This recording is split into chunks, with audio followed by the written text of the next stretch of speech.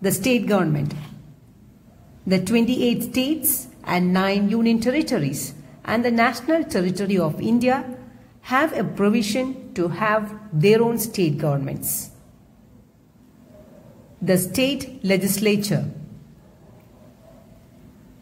The two houses of the state legislature are Vidhan Sabha or State Legislative Assembly and Vidhan Parishad or the Legislative Council. Many states of India have only one house that is the Vidhan Sabha or the Legislative Assembly. The lawmaking body of the state is the Legislative Assembly. The members of these assemblies are called members of Legislative Assembly or MLAs. They are elected for a term of five years.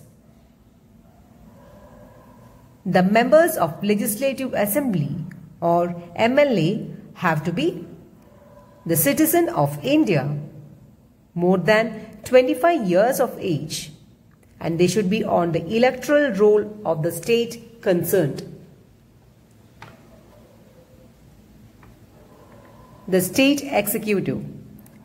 In the state, the governor as a representative of the president is the head of executive, but the real power rests with the chief minister who heads the council of ministers.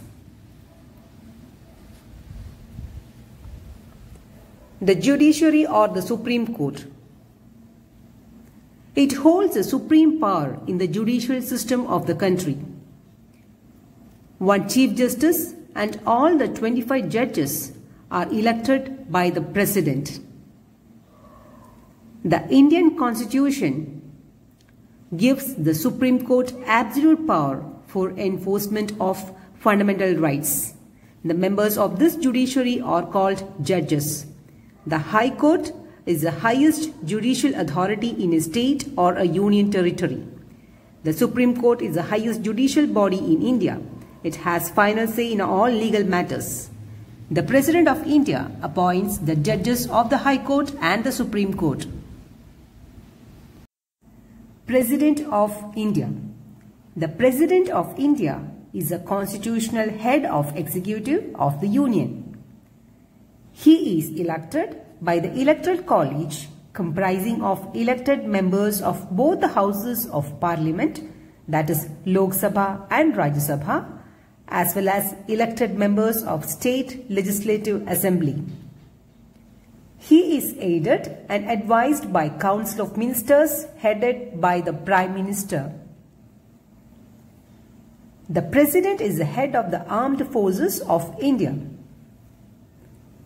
He nominates a small number of members of both houses.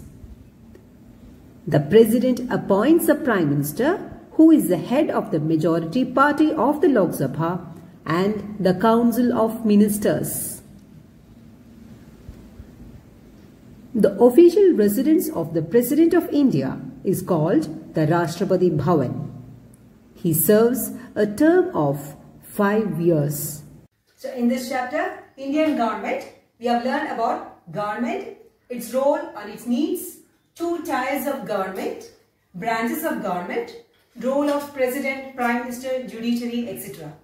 Watch the modules carefully, go through your text and get back to me with your doubts. Thank you.